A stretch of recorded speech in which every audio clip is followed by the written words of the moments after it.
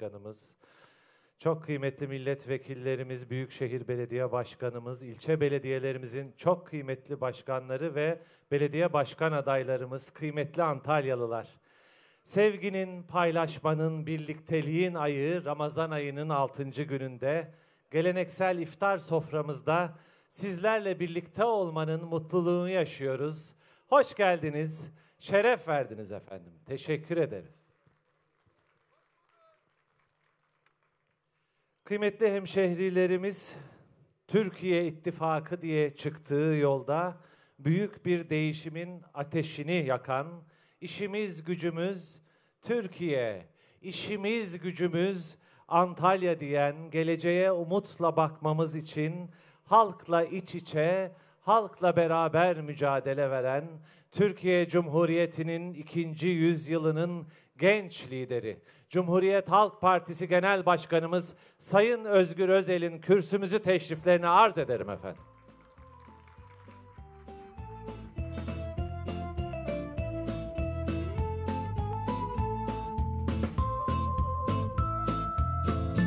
Ülkem güzel mi güzel en iyi hak eder uğruna her şeye değer. Çok teşekkür ediyorum. Çok değerli Antalyalılar, Kepezliler, bugün akşam bu mübarek ayda, bu mübarek akşamda sizlerle birlikte bir iftar sofrasında buluşmanın büyük mutluluğunu yaşıyorum.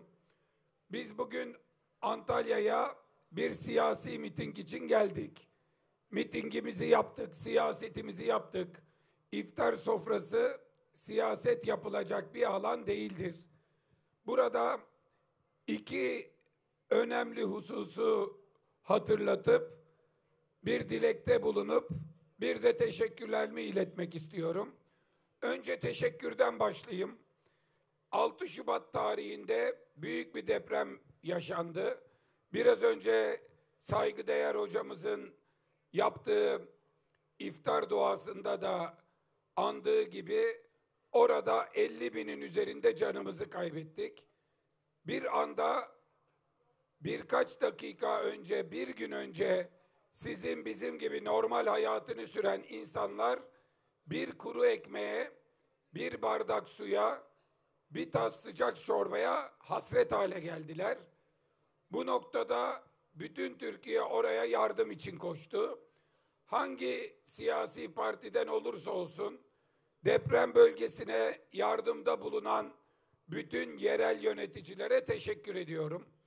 Ben Hatay'ın Defne ilçesinin Harbiye mahallesinde Uğur Mumcu meydanına depremin üçüncü günü akşamı vardığımda orada Antalya Büyükşehir Belediyesi'nin bir seyyar mutfağını, fırınını önce 3000 kişiye sonra 5000 kişiye sıcak yemek verme imkanına sahip olan büyük bir seyyar mutfağını gördük. Yine orada bin kişilik bir çadır kent oluşturuldu ve Hatay'ın yardımına ilk koşan ve orada aynı burada yediğimiz iftar yemeği gibi son derece güzel sıcak yemeği tüm Antalyalılar adına oradaki depremzedelere ulaştırdılar. Ben Muhittin Böcek Başkanıma onun şahsında hem belediye meclis üyelerine hem belediyenin kıymetli emekçilerine yürekten teşekkür ediyorum. O gün Büyükşehir Belediyesi'nin o imkanları depremzedeler için seferber edilmişti. Bugün de mübarek Ramazan'da bir iftar sofrasında bizim gibi imkanı olup da misafir olanlar için ya da iftar sofrasında kendi sofrasını kurmaya imkanı olmayanlar için hep beraber oturup iftarımızı yapabildiğimiz bugünkü ziyafet için, iftar yemeği için Sayın Muhittin Böce'ye ve Antalya Belediyesi'ne onları bu imkanı yaratan vergileriyle ve verdikleri oylarla kendilerinin bu hizmetleri yapmasını sağlayan tüm Antalyalılara yürekten teşekkür ediyorum. Sağ olun, var olun.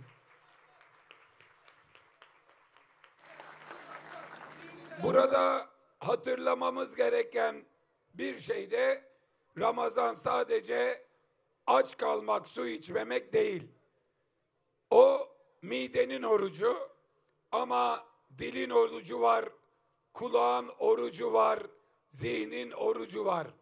Dilin orucu kötü söz söylememek, kulağın orucu kem sözleri duymamak, dedikoduyu dinlememek, kulak asmamak, zihnin orucu da geleceğe yönelik olarak en müsbet duygularla iyi şeyler hayal etmektir. Bugün Antalya'nın geleceği için iyi şeyler hayal edenlerin, memleketin yarınları için hayırlı işler hayal edenlerin, hayırlı emellere niyet edenlerin muvaffak olmasını temenni ediyoruz. Bir diğer temennimiz de mübarek Ramazan ayının İslam coğrafyasına, ülkemize ve bütün dünyaya barış getirmesi. Barıştan ve savaştan bahsederken Filistin'i unutmak olmaz. Aylar öncesinde Hamas'ın yaptığı saldırılara mukabele etme niyetiyle İsrail'in giriştiği saldırılar neredeyse üç ayı doldurdu. 32 binin üzerinde can, on binlerce çocuk ve kadın hayatını kaybetti. Ramazan vesilesiyle bir kez daha dünyadaki siyasi akrabalarımızdan mektupla talep ettiğimiz, yüz yüze konferanslarda ifade ettiğimiz bir talebi bu kez de Ramazan vesilesiyle talep ediyoruz. Filistin'de kalıcı bir ateşkes, kalıcı bir barış diliyoruz. Biz Cumhuriyet Halk Partisi olarak 3. Genel Başkanımız rahmetli Bülent Ecevit'in Yaser Arafat'la kurmuş olduğu ilişki, onun Filistin davasına bakışı, Filistin'deki barışı savunan ve yine rahmetle andığımız Filistin Kurtuluş Örgütü'nün başkanı Yaser Arafat'ın Filistin'in ilk ve doğal lideri Yaser Arafat'ın davasını Sayın Bülent Ecevit'in sahiplendiği gibi bir kez daha sahipleniyoruz. 1967 sınırlarında Doğu Kudüs'ün başkent olduğu bağımsız bir Filistin'in İsrail'le barış içinde yaşayacağı yarınlar için hem Birleşmiş Milletleri hem de Türkiye Cumhuriyeti'ni yönetip bu tezleri ısrarla savunması gerekenleri bir kez daha bu talepten, bu haklı talepten, bu haklı davadan haberdar ediyoruz. Son sözüm Filistin'de barış istenecekse Filistin'le yapılan dayanışmayı göstermek, İsrail'le yapılan ticareti durdurmakla olur. İsrail'le bugün birilerinin evlatları, akrabaları, yandaşları düzenli ticaret yapmaktadır. İftar sofrasının ruhuna uygun olarak daha sert ve siyasete varacak bir eleştiri yapmamakla birlikte İsrail'le kimin çocuğu, kimin evladı, kimin akrabası, kimin yandaşı ticaret yapıyorsa Filistinli çocuklara batlayıcı olarak gidecek gübreleri kim taşıyorsa, İsrail'in ticaretini kim ayakta tutuyorsa Filistin'e ihanet ediyordur. Bu konuyu bir kez daha tüm kamuoyunun dikkatlerine sunuyorum. Tuttuğunuz oruçları Allah kabul etsin. Ramazanınız mübarek olsun. Bundan sonra bu memleketimize açlık, yoksulluğu ortadan kaldıracak ve bundan sonra kimsenin çocuğunun yatağa aç girmemesini sağlayacakların hükümet etmesini ümit ederiz. Bundan sonra deprem felaketleri, sel felaketleri yaşamamayı Mehmetçiğimizin sınır boyunda görev yapan kahraman Mehmetçiğimizin ayağına taş değmemesini temenni ederiz. Bir kez daha Antalya'nın çok kıymetli insanlarına sevgiler, saygılar sunuyorum.